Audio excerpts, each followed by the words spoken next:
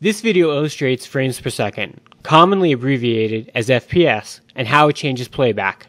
You'll see the difference between 30, 15, 10, 7.5, 5, and 1 FPS. Here's the same scene at different FPS rates, a real life example of the actual differences. 30 FPS is real time recording. You may expect that capturing 30 FPS is best. In reality, the naked eye cannot see the difference between 15 and 30 FPS. So 15 FPS is called virtual real time. Setting all cameras at 30 FPS stores a lot of data, but may not give you any real benefit. Looking at the playback, we see that 30, 15, and 10 FPS have a minimal amount of difference.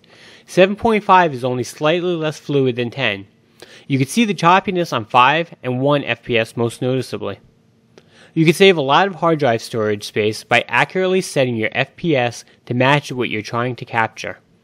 Does the scene have fast moving objects? Are you trying to track sleight of hand or just normal people moving at normal speeds? With EverFocus DVRs, you could set the FPS for each camera to match the application.